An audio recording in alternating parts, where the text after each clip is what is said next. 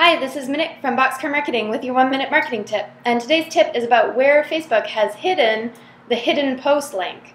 So, in Facebook, in the old version of how your page layout was set up for Facebook business pages, in the left hand side under wall posts was a link to hidden posts.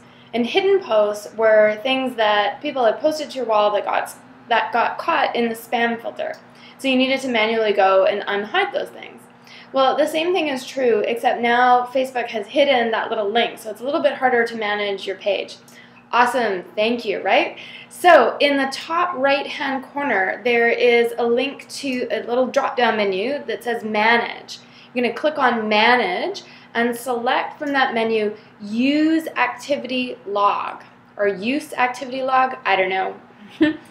anyway, then you're going to be taken to a page that has all the activity um, that has happened on your page. And again, in the top right hand corner, there's a little drop down that says all. Click on all and select spam because hidden post is now called spam. So then when you see all of the things that have gotten caught in the spam filter, you're able to toggle those on or off so that people can see them on the wall. That's it. I'm Monique from Boxcar Marketing. Bye.